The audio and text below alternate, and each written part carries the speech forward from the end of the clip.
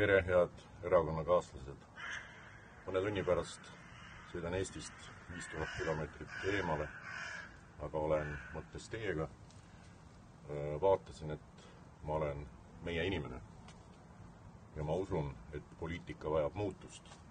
ikkagi veel toetan ise hakkama saavat Eestit, lihtsat Eestit.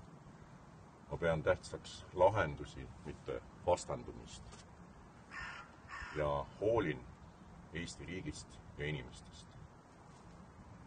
jah, nüüd juba olen